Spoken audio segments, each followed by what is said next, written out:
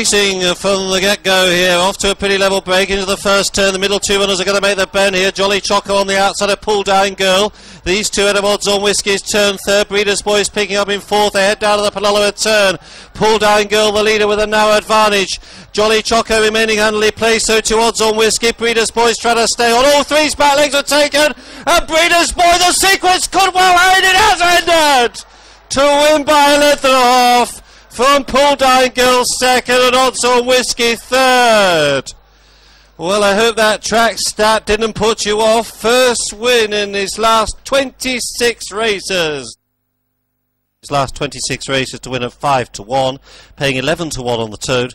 The 3 to 1 joint favourite.